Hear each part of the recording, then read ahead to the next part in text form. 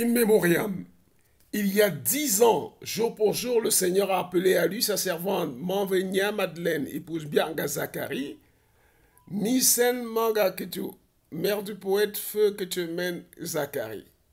Manvenia Madeleine, épouse Bianga Zachary. Quelle coïncidence! Elle avait un nom intégral de ma feu maman Nia Madeleine. Et le nom, son mari avait le nom intégral de mon frère Zachary Mbianga qu'on a enterré il y a quelques années à Bannekan. Oui. Le rappel à Dieu était douloureux et portait ainsi le deuil. Les familles Sambianga à Yaoundé, Douala, Allemagne, Canada, USA, Belgique, Espagne. Famille Ndiatisha à Bangoula, Parmecon. Mamb Bakoup à Bantoum. Monsieur et Madame Bakop Françoise et enfants à à Douala. Madame Zeretom Henriette et enfants à Douala. Monsieur et Madame Sambia Ngadi Jean Pierre Nguan et enfants en Allemagne.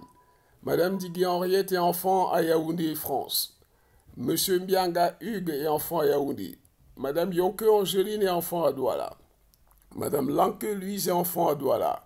Mademoiselle Nana Inès à Douala ainsi porter le, rappel à deux de notre matriarche, fille Maman Nya Madeleine, fille de euh, Njaticha et de Feu Mbutum. Oui, maman a vécu, toute son, a vécu à Yaoundé toute sa vie. Elle y a fait des enfants, mais le Seigneur avance à rappeler auprès de lui ses enfants qu'elle va retrouver en ce moment. Ces trois enfants que vous voyez à l'image.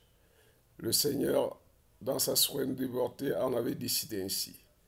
Dans le royaume des bienheureux, comme dit Sainte Thérèse l'enfant Jésus, que le nom du Seigneur soit béni.